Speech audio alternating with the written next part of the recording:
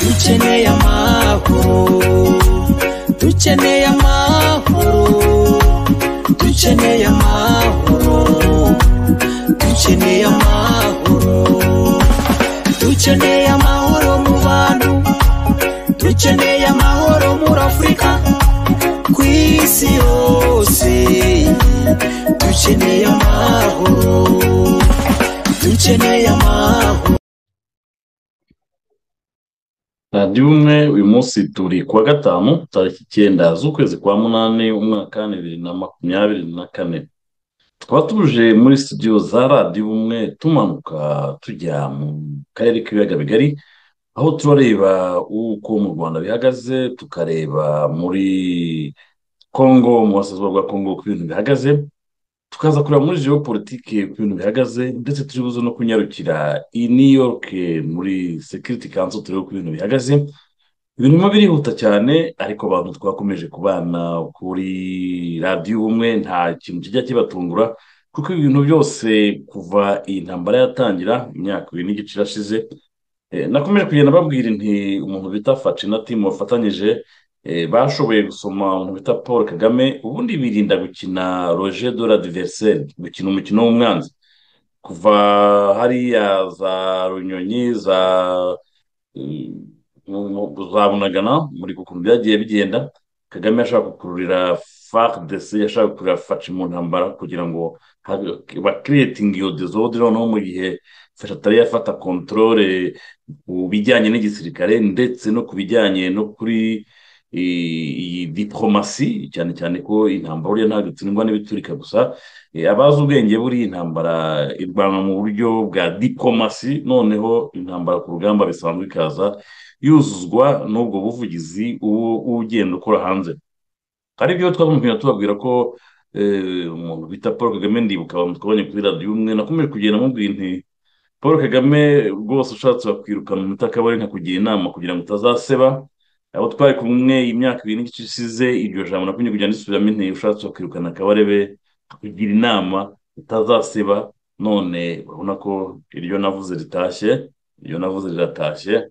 Umugabo we yagiye aho ngaho ajya mu nteko ishinga amategeko avuga ko kongo ari umurambo ko kandi abana babo barimo kuvuguta umuti muri kongo ngo kandi w'ikinyarwanda ariko ibi byose twakomeje kugenda tumubwira ko iyi diporomasi ya faci ya felix perezida wa kongo yakomeje kugenda akora. Eh, kigali bo bibwiraga ko wenda ari intege nkeya cyangwa iki ariko ku muntu wisobanurira kongo yari mu ntambara z'ubwoko bune bigera kuri bune kuko kongo yari ifite ikibazo cya gere diplomatique ikagira na gere mediatique hakabaho na gere economique ndetse hakabaho n'ino ntambara yindi y'igisirikare. Ibyo byose rero nk'umuntu bita faci wari wahawe igihugu nta gisirikare akontorora cyuzuyemo abateretere benshi cyane abapro kigali benshi cyane ari na yo mpamvu mukunda buri gihe kugenda mubona ko umuntu bita paul kagame ba- imperialiste buri gihe baba bashaka gukora ibyo bita eh, brassage na n'ubu nta kindi bashaka no kugira ngo ibyo bacumikamo abo bantu bose eh, bagumye bazabafasha gucamo guca intege eh, igisirikare cyangwa kugira ngo kitazapfa kiyubatse. Kubona ko umuntu bita faci eh, byamusabye imyaka ibiri kugira ngo atangire gutegura igisirikare byibuze ageremo bakeya azatangiraho yubaka igisirikare cya kongo kiri ruwayo ku gihugu. Pana bariya bagenda bacumikwamo na za brassage na mixage ari naho kagame na bakaba bapfitaga bakajugunyamo ababo babakorera. Ibi byose tukaba twagiye tubireba rero ubwo faci yakomeje kubigendamo ni urugendo twakomezanyije kuri radiyo umwe twabanye. Hari abantu bagiragaho bagacika intege bati noneho francois sura tubwira iki ko kanyabayonga bayifashe ko bamanutse rubero ibi ni ibiki? Ariko nkababwira ngo amaropuri yose mwagiye mubona muri ino minsi ya nyuma agenda akorwa haba hari impamvu yayo kuko n'ikimenyimenyi muzajya mubona ko nk'imijyi nka za kanyabayonga nta mirwano yigeze ibamo. Iyo ubonye abasirikare nta imbunda zahafatiwe n'abasirikare bahafatiwe ibyo byose biba bikwereka ko iyi byose mu rugamba habamo eh, ibintu byinshi cyane habamo amasitrategi menshi cyane habamo amayeri menshi cyane.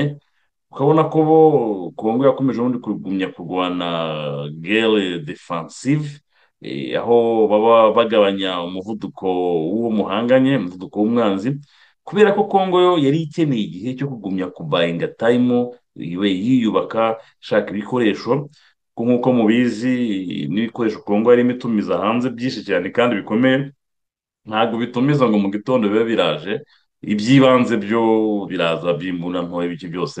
Ariko burya hari ibikoresho bindi utumiza bigafata amezi memu n'imyaka memu n'umwaka kugira ngo bihagere akaba ariyo mpamvu ubona ko muri sitarateji ariyo mpamvu umuntu bita faciwe na timu bikwereka ko buriya birya abagabo ba kigali nta kindi bashingiye uretse ubwiyahuzi n'ibiturika. Umuntu bita faci kubona ko yakomeje nk'uko ari yo nama twanamugiraga ku bantu twabanye kuri radiyo umwe murabizi cyane.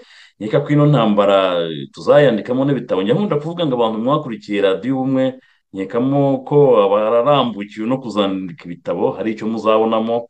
Cyane cyane ko iki gitabo nkeka ko eh, gifite n'izina rihari. Aho nabwiraga uriya mugabo wa kigali ni paul kagame ushatse bakwirukana umutaka we nkakugira inama ko uko bizarangira turimo turayibona cyane cyane ko buri move ya Tshisekedi ya Felix nagiye nyikurikirana cyangwa se rimwe na rimwe nkabibabwira mbere yuko biba aka kenshi na kenshi mujye mukurikirana ibiganiro uzajya ubona faci agenda yiyajisita ku biganiro tuba twagiye dukora hano kuri radiyo imwe n'andi maradiyo yose ariho nakomeje kubabwira ibintu bita faci ngenda naramusomye eh, nsanga ari umuntu utajya uva ku ijambo nk'ubu yabwiye abantu ngo mwende zikamushi bati ko noneho bafashe n'aha n'aha n'aha n'aha ko icyo mutazi?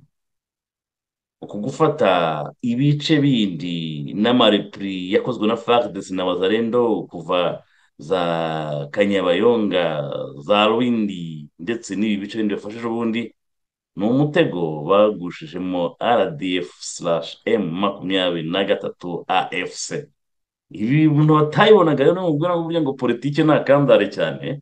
Eh, njya nkunda kuvuga ngo abagabo ba kigali burya barasuzugura cyane. Ariko burya ntabwo basuzugura eh, ni uko burya hari igihe iyo ushaka kudemoraliza umuntu umwereka ko ntacyo ashoboye ariko mwe murabizi ko twaba twabanye kuri radiyo umwe. Ibi byose kagame atangiye gufesinga twarabibategurije ko ariko bizarangira. Ntacyo twibeshyeho urabona ko umuntu bita faci asoje urugamba icyo twakwita eh, guerre diplomatique.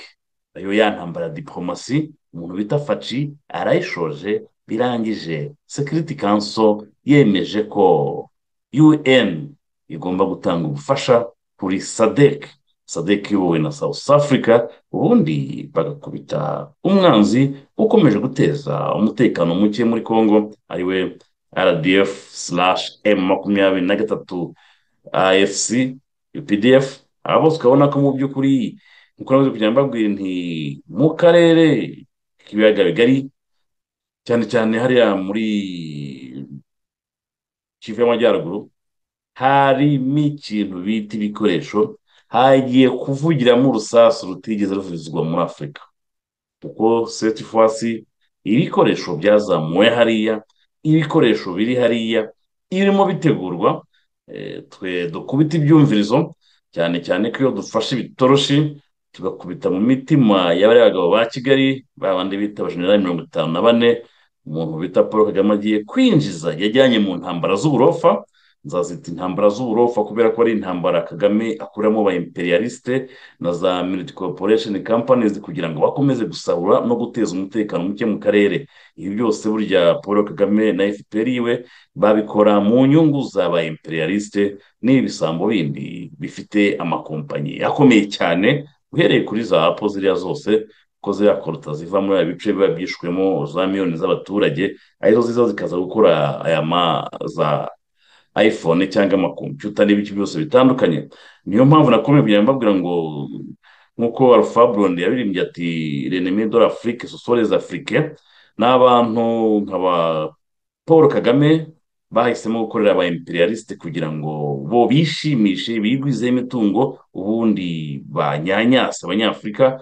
Ni abantu nka ba museveni bahisemo izo politiki zabo z'ubushotoranyi ko buriya na biriya adf iyo wikurikiranye cyane uzasanga ari itiyo n'ubundi banyuriramo kugumya gusahura zahabu za hariya muri turi na bene.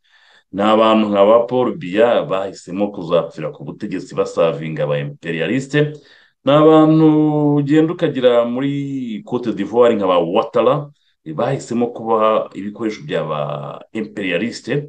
Ni abantu nka ba sasungeso ubona ko rwose bo mu gitanda kimwe n'aba imperialiste. Ariko abo bose bakaba babikora ugira ngo wibeshya ko yaba panafricaniste wumvishe bavuga nka paul kagame abantu bamwibeshyeho se ko twe ku iradiyo umwe ntabwo paul kagame twigeze tumwibeshyaho iyi ntambara yitangije tuyimubuza tumwereka n'uko ibintu bizarangira tumwereka ko n'umuntu arimo gusuhuza sitima umuntu bita faci yamwibeshyeho cyane. None urimo urabona ko noneho birangiye ibyo na timu we barimo baharanira ariyo ya gere diplomatique bayirangije aho muri security council ibihugu cumi na bitanu byose byatoye byemeza ko monesco igomba gutanga ubufasha byaba ibikoresho byaba ubutasi byaba ubundi bufasha ubwo ari bwo bwose ku ngabo za sadeke ibi bishatse kuvuga ko noneho sadeke ikomorewe gutangiza intambara none ifatanyije na fardc n'abandi bafatanyabikorwa ba wazalendo ariko noneho bigaragara ko noneho sadeke fagitire yayo ibizakoreshwamo ibizangirikamo byose bizishyurwa na un aho kugira ngo bize ku mutwe wa congo. Iyi ni insinzi ikomeye cyane buriya ni uko abanyarwanda nk'uko mubibona buriya bita paul kagame n'abari abajenerali be barimo baradagadwa kubera yuko bamanitse agati bicaye none bagiye kukamanura bagomba guhaguruka. Ibi byose nabagiriye inama day one ubwo batangizaga ibitero ndibuka amabatayo ya mbere yinjiye mu ntangiriro z'ibiganiro. Nababwiraga ko bariya yari akiri majoro yabaye general de brigade no ya general de brigade. Uwo bitaga william ryarasa ni we watangiye kujya kurasa hariya za rugari no ku kigo cya rumangabo. Inshuro nyinshi cyane nagiye mbereka n'amavidewo live ku rugamba n'iki byose. Abana bahaguye b'abanyarwanda ni benshi cyane turimo turabara ibihumbi bimaze kugwamo hariya cyane. Ryarasa yari majoro icyo gihe ndabyibuka batangira kurasa za rugari baramuzamura bamugira koroneri bidatinze mu mwaka umwe n'igice babaye general de brigade. N'abandi bagenzi be bose. Ariko ibi byose ni ibintu twagiye tubereka ko iyi ntambara tuyifite mu ntoki mu buryo bumwe cyangwa ubundi amakuru tuba tuyafite. Twaba twagiye nk'uko nakomeje kugenda mvuga inti muhuta paul kagame bishobora kuba nta makuru afite nk'uko aba abantu bo muri etiyopiya muri ubwo kagame intambara ya etiyopiya yadukaga y'abatigire kagame yari kuri sayidi y'abatigire cyane cyane ko banakoresheje n'ibikoresho bimwe byiwe yari yaragiye kubitsayo. Ibindi bigasenywa n'ingabo za guverinoma. Muribuka ko abi n'abandi bayobozi ba etiyopiya bise kagame ngo ni imbeba. Yireba muri miribare ikibona nk'intare. Ibi bintu niko bimeze urabona ko umuntu bita paul kagame muribuka i burundi nikeri imaze kuboneka. Ati ndaribwaribwa ngomba kuyicukura. Ati jenoside jenoside. Arangije ajya gushuka abatutsi burundi barazamuka. Ati mu mezi atatu nzaba nabashubijeyo. Murimo murabareba abasazi mahama. Ibi byose twamaze kugenda tubwira hano bavandimwe bacu bo muri congo abatutsi bo muri kivu y'amajyaruguru ndetse n'iy'amajyepfo. Tujye dushimira abanyamurenge bo ubona ko ababirimo ni bake cyane. Abanyamurenge buriya bo bamenye kagame icyo ari cyo ko nk'uko mubizi n'abashoboye guhungira mu rwanda babatwaraga ku ngufu ko murabizi nk'uwitwa masunzu. Yarashe ibambasi mu kwanga ko bajyanwa mu rwanda ku ngufu. Ko muri masisi bo barabishoboye baraza bashinga inkambi z'abanyamasisi ku ngufu. Buriya akenshi ama operasiyo yabaga yabaga ari mu operasiyo yakozwe na kigali bakoherezamo za special force zikabaritagura. Ubundi bakabereka inzira y'ubuhungiro yerekeza mu rwanda. Ibyo ntabwo byakunze muri mu majyepfo muri sidi kivu aho abanyamurenge bo batiyumva mu rwanda uretse bake nyine bagiye bananizwa bitewe n'inzara bahitijemo kunyuramo ariko burya benshi abanyamurenge benshi bibonamo i burundi kurusha mu rwanda. Niyo mpamvu mwakomeje kujya mureba ko abanyamurenge benshi cyane barishwe mu rwanda harimo ba bukuru ntwari bande bose murabizi nta kindi bagiye bazira no kutajya muri izi gahunda za paul kagame. Ariko bagira mu banyamasisi ni na cyo kibabaje cyane bo bakaba bagenda buhumye nkongera nkunda kuvuga ngo bariya bagabo guverinoma birababaje cyane. Eh, bafasha ababyeyi babo babajyanye muri ziriya nkambi bakajya bajya gusuramo abana b'abasore ngo bajye kuba bajepe Eh, wabona kubera ko mu bajepe bahemba neza wabona umuhungu wawe ari hariya ahembwa ibihumbi magana atatu magana ane ukumva ko ubuzima ari ubwo ariko uri mu nkambi Eh, abenshi buriya imitungo yabo barayigurishije. Ari na yo mpamvu na yo basubiye muri ziriya ntambara bagenda bica abaturage baho kubera ko bariya ibyo tubivuga uko biri abatutsi batuye muri za masisi za rucuro abenshi buriya barangije no kugurisha imitungo yabo kandi myinshi yagurwa na bariya ba kabarebe bariya ba mubaraka muganga amafamu yabo bagiye bayagura ko inzara yagendaga ibarya mu makampi hariya bari za kiziba za gicumbi hariya bari bagendaga bagurisha imitungo yabo ukabona ko n'iyo basubiyeyo hariya bamwe muri bo ari n'abasirikare bagenda ba- bica igihumeka cyose muri ya gahunda yo kumva ko ngo baza- bazakaba bahafashe birumvikana bakaba bakahatura uko bishaka. Bakomeje kumva ko banatangiye gutwara abaturage nahoze mbona ripoti ko bamaze kugera mu bihumbi bibiri kujya gutuzwa mu mazu y'abahunze. Nabyo ni ibindi bibazo bizateza ibibazo bikomeye cyane. Ibi byose akaba ari kwa kundi ari impamvu nkunda kugaya. Kenshi njya nkunda kubabwira ngo igihugu cy'u rwanda cyagize ibyago kigira abajenerali mirongo itanu na bane ariko b'abakawadi kandi b'ibigwari ubonye nkunda kwita ngo ni ba jenerali kenyege kubera ko ubundi umujenerali ni umuntu uri ku rwego rwo kuba wakwanga ikibi ukoreshejwe na kamanda in chief. Ibi byose to utari ko bizagenda kose izi of time. Bano bose bakomeje kugira uruhare muri izi ntambara za congo imirangirire yabo uko bizagenda kose nta muntu ujyana umwenda ku ino si uko bizagenda kose. Akaba ari intambara twakomeje kugenda tubwira abanyarwanda ko eh, paul kagame agiye kureka igihugu twababwiye ko atari ubwa mbere bibayeho mu mateka y'u rwanda yigeze kubaho umwami akaba n'umusizi. Njya nkunda kumugarukaho cyane kenshi cyane kugira ngo abanyarwanda bazajya bizajya uvuga ngo ntabyo bazi. Mu mateka ya- yashize ya kera twigeze kugira umwami akaba n'umusizi akaba ari yuhimaze impaka nyuma yo kwicira umuhungu we bamubeshye ko amakuru ni bwo yahisemo guhimba igisigo yise ngo sinzongera gukunda ukundi. Urumva ko rero atari ubwa mbere tuba tugiye kugira eh, yuhimaze impaka wa kabiri ari we paul kagame. Eh, wahisemo kurya utwe ndetse akarya n'utw'abandi ukabona ko mu nk'uko mubizi eh, bijya gutangira na faci faci yari yamuhaye byose yaragize gute?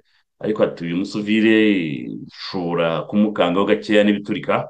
Noneho ibyo yampagaga ku inshuro igihumbi nkaguma gukora ibitangaza noneho ba imperialisite bakankunda cyane bakashobora no kumpa izo mbaraga. Ukabona ko ibintu byahindutse aho umuntu bita faci nk'uko nababwiye nti muzamubeshyera ikindi muzamubuze gutinda ariko gihe yavuze ikintu aho musezanye n'aho muhurira.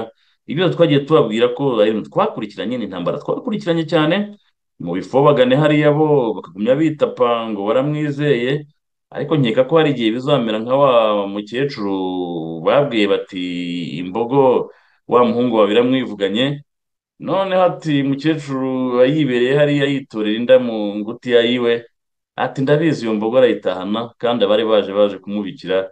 Ibi byose ni byo twakomeje kugenda tubwira bariya bantu ba kigali ibyo bavuga ni bajenerali mukadiriye bakoneye mukadiriye eh, badepite basenateri hari icyo muzabazwa na rubanda ibi byose twakomeje kugenda tubereka uko izi ntambara zizagenda n'uko zizarangira.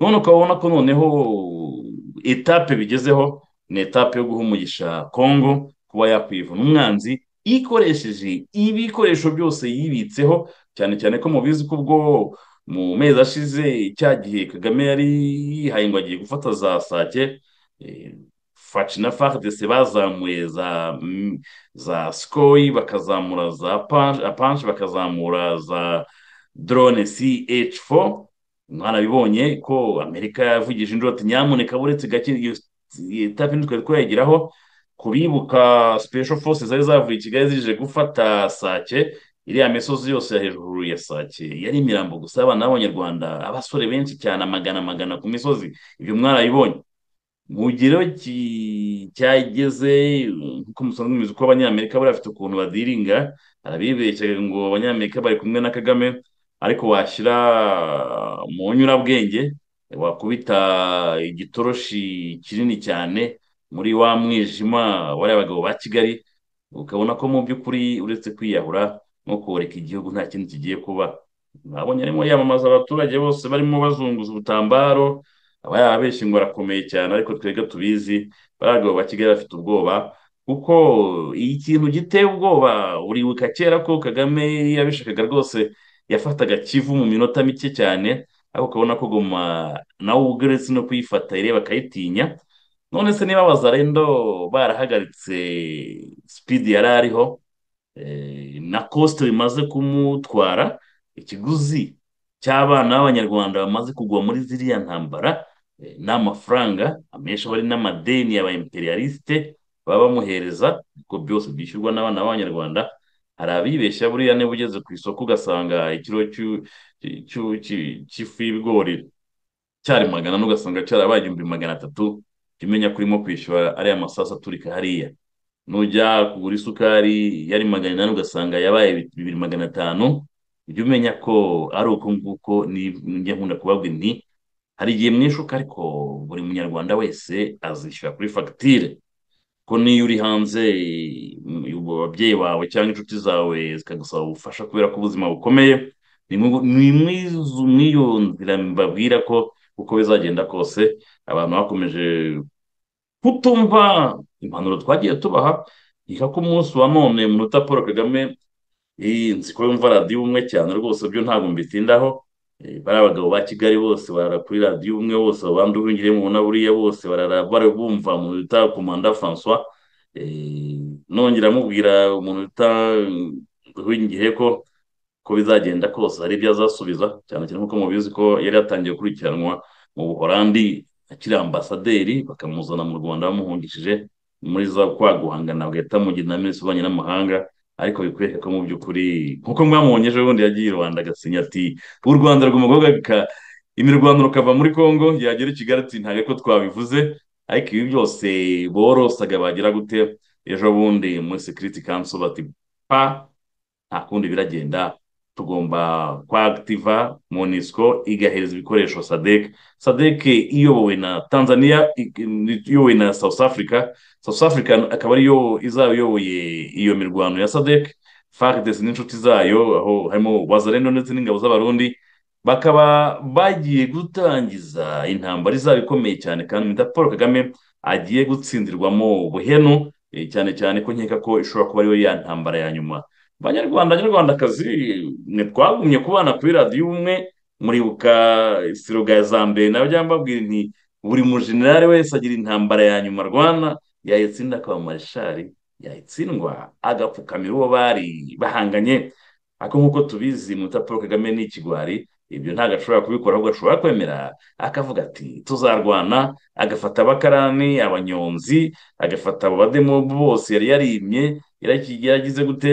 Ati murwane tuzapfe turwana batazadusuzugura ariko nk'abandi badigitateri bose baba bashaka ko bazisasira kugira ngo bababere ibitambo. Ariko ibi byose ukabona ko ari ibintu twabonye kugenda tubwira abanyarwanda ariko bakaba baraba washinze nk'uko tujya tubivuga. Ariko rero abanyarwanda n'abana beza utazibeshya ngo ntabwo bazi ibitambuka. Ariko izi ntambara ni uko nk'uko nagiye mbibabwira nkeka ko nsigaye nicara nkavuga nti uwazajya akina ibiganiro bya nyuma biriya biganiro byose twatangiriyeho imyaka ibiri n'igice ari byo tugenda dutangira. Nkeka ko umuntu bita paul kagame yavuga ati iyo nza kumva ibyo komanda francois yambwiraga kuri radiyo ubumwe ibyo abantu bambwiraga kuri hano muri radiyo se ntabwo mba ngeze hano kwitesha icyubahiro. Njya nkubwira ngo buriya eh, abadigitateri bose ni bamwe forumire ibavana ku butegetsi ni imwe nibo birangiza. Nkunda kubabwira kera nti paul kagame na sisiteme yiwe ibyo twifuza gukora bazabidukorera. Abantu badakurikira politiki ntabwo bumvaga icyo nshatse kuvuga.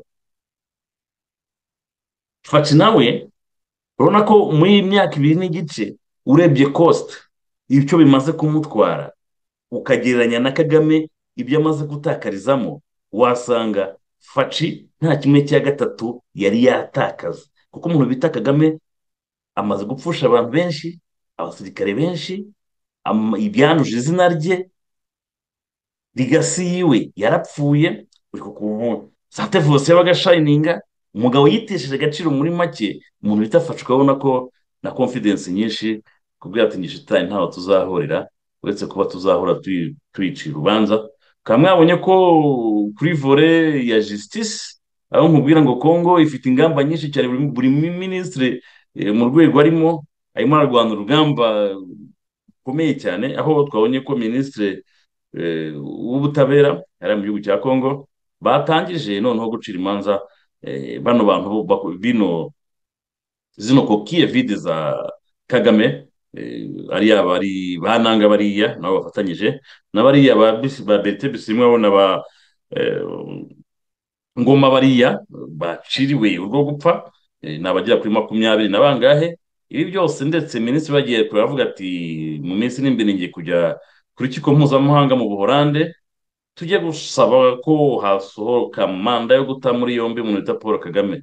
Abazakurikira politike we ntabwo barimo kubibona kuko izi twebwe turimo turabibona. Uyu minisitiri ntabwo eh, arimo kubivuga akina. Ni uko arimo kubona ko harimo probability ko igihe kagame ino ntambara izaba imunaniye uko bizagenda kose azasanga hari na manda imutegereje niba atanayiguyemo se cyangwa ata- yahunze. Ibi byose ubona ko ni ibintu barimo bagenda bategura. Abantu batumva langaje diplomatique rimwe na rimwe bakumva ibyavuzwe bakumva kigali yitapa bati ngiye ntacyo bimbwiye nambutse nafashe nagize gute? Aka kanya mubonye ko rezilita n'ubwitonzi no kwihangana umuntu ntafashe yadisize gutera u rwanda ariko nkeka ko abanyamerika bagomba kugenda bamwereka izindi nzira cyangwa se bambwira bati duhe chance yindi turebe ko twakemura iki kibazo akarere katabibabariyemo ariko ukabona ko nubwo security council yadesize iyi ntambara nta kabuza kandi kagame agategereza ko ino ntambara itangira ntabwo izamusiga ku butegetsi. Ibi byo turabibona kubera ko congo ingufu imaze kugira eh, abafatanyabikorwa bayo turimo turavuga south africa tanzania burundi nabwo ntibumworoheye. Bigaragara ko mu by'ukuri uretse gucunga amarima no gushaka kwicisha abana ba rubanda no gusenya ibyagezweho n'abanyarwanda ko njye ntabwo njya nemera ko ari kagame kuko kagame ntabwo ari imitungo ya mwene rutagambwa. N'abanyarwanda babikora n'abanyarwanda babyubaka cyane cyane ko byose bifatwa ku madeni azishyurwa n'abana b'abanyarwanda. Mu myaka ijana na magana abiri iri imbere ibi bantu ugomba kuzajya babyumva. Hano agomba kumva ko nubwo wagira ngo we yubatse ikintu cyo kwerekana ko u rwanda rutangira icyenda na kane buriya iyo tuvuga bubatse u rwanda duturuka n'ibwami mu bihe byabo ibyo bakoze ni byo byari bigezweho. Bwa ba kayibanda ibyo bakoze ni byo byari bigezweho. Nibyo byari bigezweho. Eh, dufite ka gripe mo hano ibintu by'ibi harahiye cyane haba harimo imyotsi cyane bitera gripe no kwitsamura. Tubabarire. Akaba nkunda kubwira abantu rero ko ibintu mu by'ukuri bikomeye cyane turimo turareba tukabona ko ibintu birakomeye cyane rwose. Intambara ntabwo ziboroheye mu gatsiko barimo barahumekera mu kwa nk'imiserebanya. Ariko ibi byose reka bibabeho twari babwiye ariko ntibatwumvishije ntacyo ntakoze ntacyo tutabwiye bari abagabo ba kigali bari abajenerali nzi ko baba badukurikira ku matwiti nzi ko twiti yanjye kagame ayikurikira kenshi na kenshi hari abantu benshi tuba tureba tubabwira bibwira ko turi mu mikino nababwiraga ngo revolisiyo igenda buhoro ariko iyo itangiye gufata itangiye kumvikana ntabwo wayihagarika kimwe n'intambara na gere diplomatike intambara ya diplomasi na yo igenda buke buke mu makontakiti uba ukora ariko abantu bavuga bati ntacyo bizatwara kagame arakomeye ni igitangaza. Ariko uyu munsi wa none mutangiye kubona ko noneho birimo biraza. Niba bemeje ko bagomba kuhereza intwaro sadek ngo kongo igabanyikiyeho n'umutwaro wo kwishyura amafagitire. Bishatse kuvuga ko nyuma agiye kuzana ibihano mwabonye muri kominote europeyeni uko ibintu bimeze.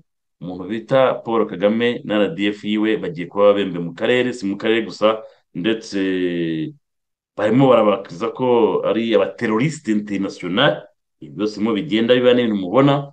Mukaba mwarabonye aho byageze mu bwongereza aho mubona ko nyuma ya diru yo kujyana impunzi mu rwanda hari harimo za biliyoni cumi na zirindwi kagame yagombaga kuryamo. Umwana w'umunyarwanda agize gutya akabayisha abana b'abandi ariko ugiye kubireba kubera ko atari umwana usanzwe. Hari abantu bavuga ngo hari umwana ngo wa cumi n'irindwi yataninze cumi n'umunani.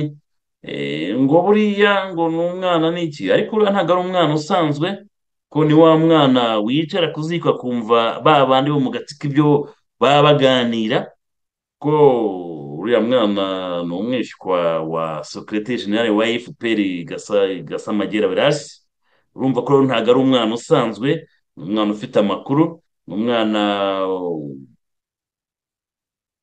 subira inyuma nkibuka niba mwibuka inshuro nyinshi twamye kujya tuvuga tuti ababyeyi bo muri diaspora bohereza abana bari hagati y'imyaka cumi hagati cumi na makumyabiri ngo bajye mu rwanda kwiga mujya mubabona bifotozanya na ba kabarebe bifotozanya na ba mubaraka muganga ngo bagiye kubigisha kuneka kurwanya umwanzi gukunda igihugu gukunda igihugu bababwira hashobora no kuzamo izo vore zo kuba bakoreshwa mu bintu nk'ibyo ngibyo ngo baritanze ibi na byo mugomba kujya mureba kure kuko ibi bintu birimo coincidence kubona ibyo kujya mu rwanda kw'impunzi bigira gutya bikagwa mu mazi hagahita havuka ikintu nk'iki ngiki gitwitse ubwongereza. Ubwongereza burimo burashya. Ubwongereza burimo burashya. Kandi umuntu bita iriya sisiteme ya kiringi mashine ifite uburyo bwinshi cyane bwo kwatsa umuriro. Buriya bakurikiye buriya mwabonye ko ubwo bari babonye ko bya habyarimana binaniranye bagiye gusinya amasezerano n'iki? Bagize gutya bati tuzi uburyo twabigenza tugakoresha penaliti bariya bagabo bakajya gutya bakahanura indege. Babizi babishaka kugira ngo kubera ko bari bazi birakurikiraho bo babibyaza umusaruro cyane cyane ko no mu nterahamwe bari baracometsemo nyinshi cyane zari zihari ba kapiteni kiyago bari mu nterahamwe bariya mu n'aba gasanarurayi bari mu nterahamwe bariya bagabo mu n'abatomu ndahiro bariya bose ni benshi cyane bari mu nterahamwe cyane cyane mu mujyi wa kigali zari zari muri burya mwagiye mubona bihambira bihambira ku mabisi bica cyane bashyira ku mihanda harimo abo bita abatekinisiye nk'uko tito ratema yababwira ati twarababwiraga bakajya muri za psd bakarwana rwose muri za mdr bakarwana rwose muri za mrnd na za sadr bakarwana rwose atari ko twe twabaga tubazi. Kumva ibyo babaga bakora babaga babizi kandi koko ugiye kureba igihe bicaga iriya nterahamwe nkuru ya hariya i nyamirambo katumbi muribuka impamvu barayikoze buriya ni kujugunya igishirira mu mavuta. Babikoraga babizi.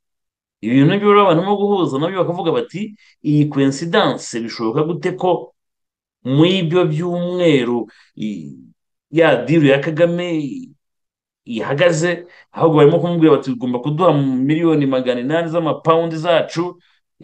Ukajya kubona ukabona umwana avumbutse hariya avumbutse hariya mu gihe hari abandi bana mirongo itanu na batandatu bari i kigali nabo bajyanywe kwigishwa. Bya bintu bita ngo ni ugukunda igihugu kubakundisha igihugu babigisha kuneka n'ibiki. Ngenderwa ko ababa hano Edmonton nibo mu myaka yashize umuntu bita bamureki akiri depite ataraba igisuma ngo igisubizo k'ibisuma buriya muri mafiya niko bigenda. Ashobora kuba yarariye akibagirwa bakibagirwa gutanga icya cumi cyangwa se wenda baramuhaye jari akiyongeraho ubutamwa na ngenda. Yigeze kuza hano Edmonton na serivisi danse nyuma n'iki byose? Cyane cyane ko burya baba bazanyemo na atashe militaire wo muri ambasade barya burya batashe militaire wo muri ambasade abari ba maneko. Bagize gutya baje Edmonton niyama n'abantu ba hano Edmonton ni nyamuneka. Abo bana banyu mugiye gutanga ngo bajye kubigisha ngo kuneka gukunda igihugu kugira gute nta bindi bazabashyiramo uretse kuba babinjije muri kiringi mashine ku buryo bakoreshwa ibyo bashaka. No muri zandari barahiza murabizi ko bavuga ngo nzakurikiza amategeko ya fpr ariho n'atariho icyo nzategekwa gukora nzagikora n'intagikora nzanywe nk'abandi bagambanyi. Ibi byose ni cyo bivuga. Urabona ko nk'uno mwana w'ubwongereza ibintu yakoze hari utundi tugenzi twe bangana turi mu rwanda already. Twavuye i burayi bariya bose ni ho bagenda bakababurenwashinga bakabigisha kandi ni abana ntabwo ari abana basanzwe. Bariya bana mubona n'ubundi bamanuka bajyana mu rwanda ni abana bava mu miryango ya bakiringi mashini mutazanibeshya mugire ngo ni abana bose bo muri diaspora bahitamo bakamanuka baguriwe amatike n'ibiki byose. Ntihazagire ukubeshya. Bariya ni abana n'ubundi bo mu miryango iri muri ya sayiko cyangwa iri muri ya kiriki ya kiringi mashini ni ukuvuga ngo ni abana iyo ngoma bayiyumvamo. Swati bafitemo ababyeyi bakomeyemo bafitemo abakazine bakomeyemo aba anti bakomeyemo ba se wabo na ba nyina bakomeye muri biriya bintu mubona. Barya bana mujya mubona bose ngo bagiye kwigishwa kundi kugira gute? Buri ugiye kureba ni bene wabo baba abajenerali baba minisitiri baba depite bande ntabwo ari abana bose basanzwe. Niyo mpamvu ari abana bashobora kuvamo n'abateroriste kubera yuko ufata umwana ukamwumvisha ko agomba no gupfa kugira ngo apfire inyungu z'igihugu ari naho mu makuru mfite ngumya kuvana mu bwongereza ntaza kuvugira hano ariko barimo kureba serivisi zibishinzwe zikurikirana kugira ngo barebe ese uriya mwana akiseri ni iki cyamuteye gukora biriya? Hari aho byaba bihuriye n'uko diru ya nyirarume idaciyemo ya biliyoni icumi barimo no kwishyurwa ziriya. Twongere kwibutsa kuri uriya mwana ni umwishyura wa gasamagera werarasi urumva ko ni mu ngoma.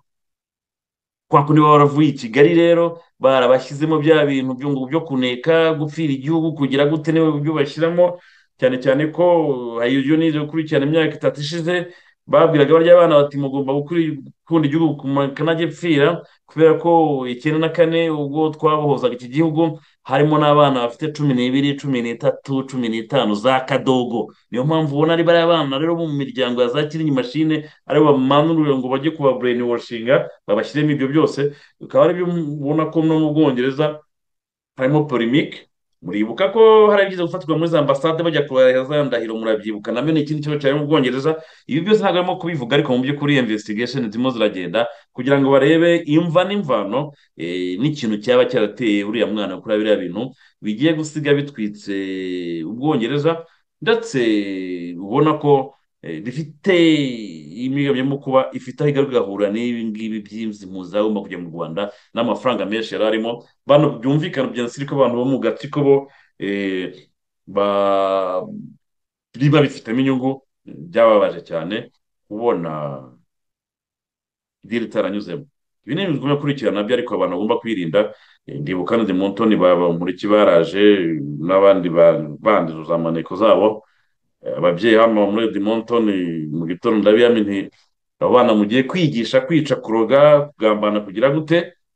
Ariko ababoheje abateneje baba bashaka tujure abateneje abana bari hagati y'imyaka icumi na cumi n'umunani aho ngaho nibo bashaka. Za kadogo bateramo ibyo bintu byabo kugira ngo kuko bo baroroshye buriya abana nka bariya kuba wabashyiramo ibyo ushaka byose bakaba bagukorera. Rero ngaho nka buri munsi nkavuga inti banyarwanda abanyarwandakazi ibi ntabwo ari ibintu byoroshye.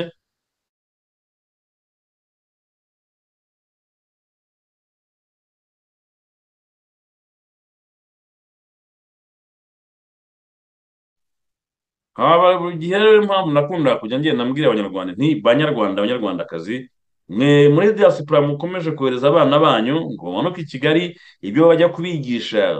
Babihuriyemo kuko nk'uko nabivuze ni abana baba bavuye mu miryango n'ubundi iri close mu gatsiko kayoboye igihugu bumva ko bari abana mu by'ukuri nta kindi bavanamo uretse ubwo bugome bajya kubigisha iyo terorisme babigisha ku buryo n'abatagiye i kigali na hano hari ahantu bagenda bahurira ku buryo ubona ko utwo dutsinda tuba tugenda duhari kandi ibyo byose babivana mu babyeyi. Hari ibintu biba ngumye kugenda mvuga inti abagabo abantu bagomba kuzakurikiranira hafi ibi byose biba biba kubera yuko bizagira ingaruka ku rubyiruko cyane cyane ko turimo tubibona ko umuntu uta paul kagame we muri gahunda bari bafite niba mwibuka neza ko yaravuze ngo ngo nta mpungenge afite kuri next generation ngo kuko barangije kubatoza ngo kandi bafitiye icyizere.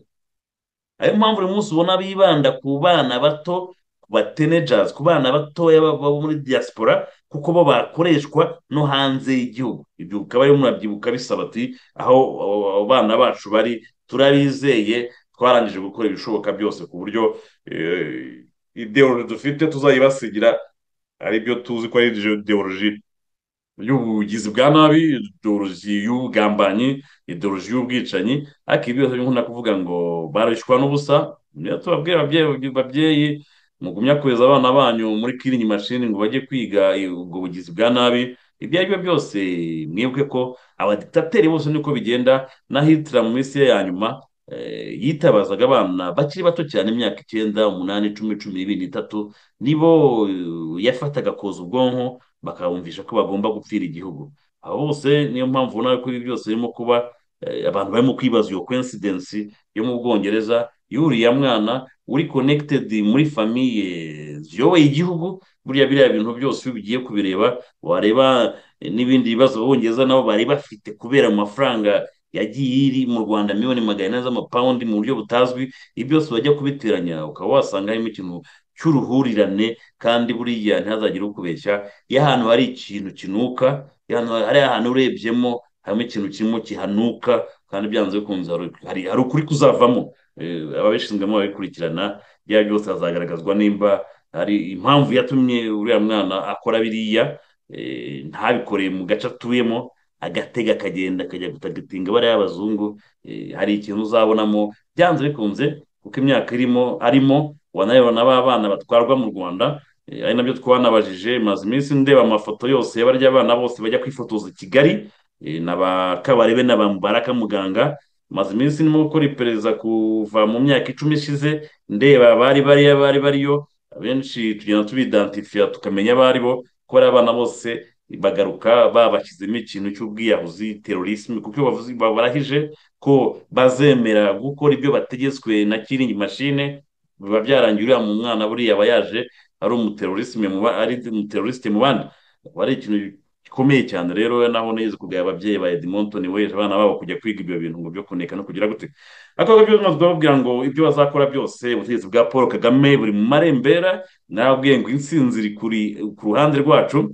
Eh, hari abatarabibonaga ariko abatabizi buri munota Paul Kagame we yiringiye ibiturika ariko nakomeje kujya mbabwira ko burya diplomasi ariyo ntambara ya mbere ikomeye cyane. Guerre diplomatique guerre médiatique izo ntambara kandi twakomeje kujya tuzitwaramo neza ku buryo ubona ko imyanya y'itugu ahantu ageze keretse abirengagiza ariko abo twabanye kuri radiyo ubumwe nkeka ko muzi aho ibintu byerekeza.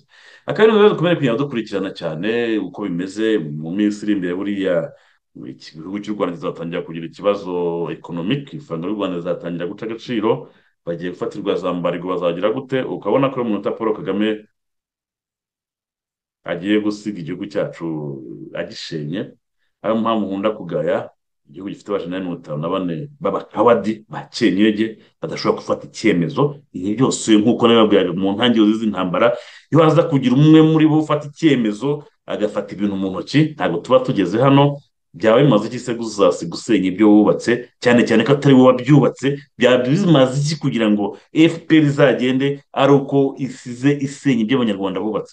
Ibi byose rero ariyo nkunda kuvuga ngo ni ubugwari eh, no kutazasiga izina kandi nababwira umuntu Paul Kagame buriya arikunda. Ibyo ku- ibyo abanyarwanda ntibimureba n'umuryango ntibimureba. Warireba we wenyine akumva ko bibaye kwa ngo- ngombwa ko agenda adatunguwe yasiga asenye. Yabibabwira ati iyi nzu yanjye ubishenye nabanza nkakwica ni ibintu bikomeye cyane y'u Rwanda mumere mbabwire ngo ni igihe cyiza cyo kwitandukanya n'agatsiko. Nakomeza kubabwira ngo nyuma y'ibi byose kagame na fpr dufitanye urubanza. Nyuma y'ibi byose bariya abadepite batavuga bariya abasenateri batavuga umunsi sikoye zabasuye bazavuga. Bariya abajenerali batavuga bariya abajenerali badakora ibyo barahiriye bakaba barahisemo gukorera umuntu aho gukorera igihugu umunsi sikoye zabasuye bazavuga. Bariya abakoroneri b'amajoro batavuga umunsi izi mbaraga turimo tureba zigiye kubashorwaho zabagezeho bazavuga. Ariko bizaba biri turete banyarwanda banyarwandakazi komeza tubaburire ntarirarenga yakunda kuvuga ngo kagame na fpr bafite byinshi byo gutanga. Bagatanze inda yabukuru ko mu mibare bibeshyamo bazabura byose nk'ingatimena. Banyarwanda mba mbivugira kuri radiyo ubumwe aya ni amateka. Twabagiriye inama bayanga baranangira gusa icyo twabasezeranya cyo ni kimwe ko bizagenda kose iyi ntambara bazayitsindwa. Kuko buri munsi nkunda kubivuga intsinzi iri ku ruhande rwacu kuko nta gihe na kimwe ikinyoma ubuhemu ubugambanyi rizatsinda ukuri. Ntabwo bishoboka. Hari abibwira ngo bari eterineri ariko ntabwo bizakunda. Nawe bibabaje cyane. Buri munsi nyabwira abanyarwanda badepite mutekereze ibyo muzabazwa na rubanda mu minsi iri imbere. Bajenerali mutekereze ikimwaro muzagira? Mufite n'uyu munsi wa none kubera intambara z'uburofa. Mwinjiyemo zo kugira inda ndende. Tubwire ba evode ko bimuriye ubwenge bwabo mu gifu badefanda diable. Bavuga ko evode ari avoka di diable ntabwo yaba abeshye. Kuko igihe fpr na kagame barimo umuntu nka evode urimo kubadefanda biramushyira muri pozisiyo nziza yo kuba ari avoka di diable. Ibi byose ni ibintu tugenda tureba mu by'ukuri aho mvuga ngo amateka azatubwira byinshi igihe na cyo kandi ni burya ngo ni umwarimu mwiza kizatwigisha byinshi. Abo twakunye kuba turi kumwe buri munsi mbavuga ngo mutagira ubwoba ngumaho muri mushikame. Tumya tubabwira ngo mukomeza muza mu mashyaka yacu hari mrcd ibamo pederi humure ya paul sesabagina akaba rrm nanjye mbamo mbere mu muyobozi ndi visi perezida perezida akaba ari kabuto butoye tukaba tuba no muri rbb akaba ari rwa rwego ruhuza amashyaka na sosiyete sivile na yo nanjye mbamo mu batangamo umuganda kugira ngo dukomeze dushake igisubizo umuti urambye w'abanyarwanda. Dusuhuze abakunzi ba rbb aho muri mwese muri sosiyete sivile no mu mashyaka dufatanyije. Dusuhuze abakunzi ba radiyo ubumwe mbabwira ko kuri radiyo ubumwe tutazabatenguha. Ibi byose turimo turabikurikirana ko isaha n'isaha umunsi ku munsi ya ntambara twababwiye izatangira. Nimba uriya mugabo wa kigali tumva ko yakagombye. Kumenya ko abana ba rubanda bazahashirira.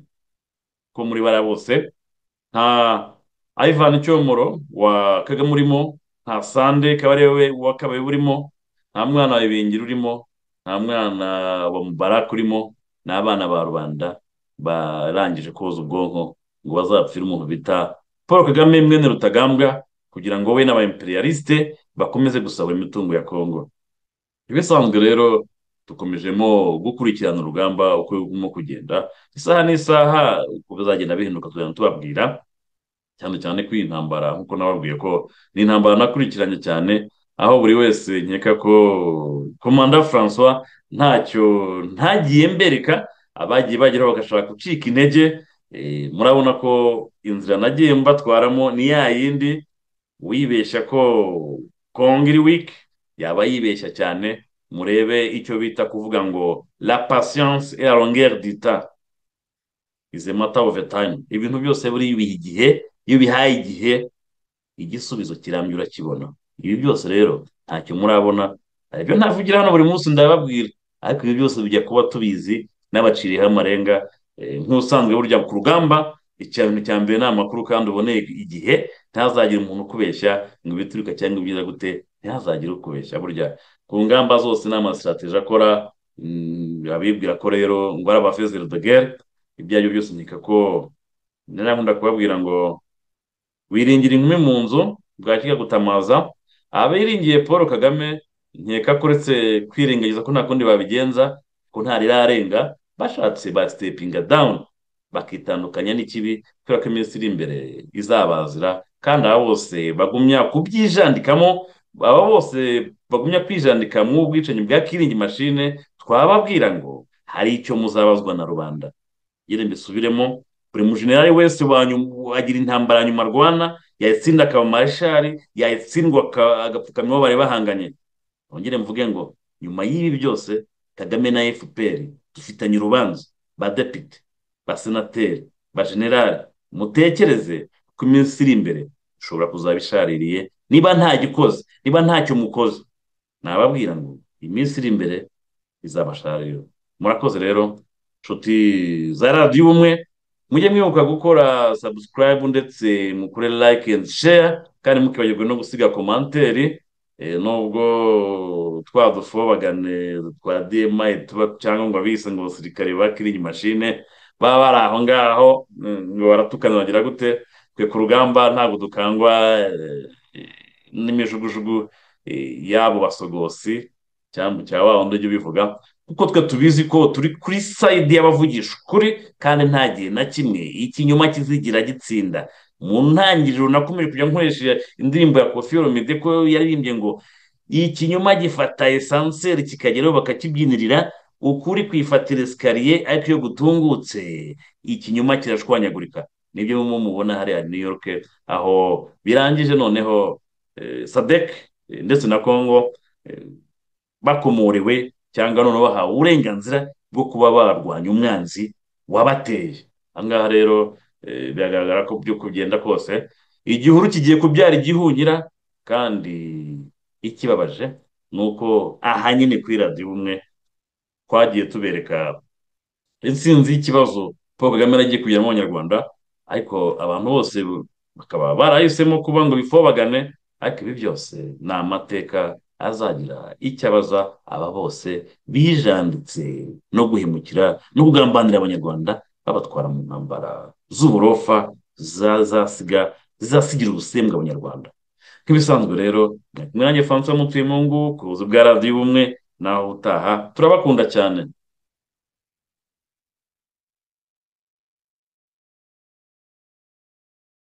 dukeneye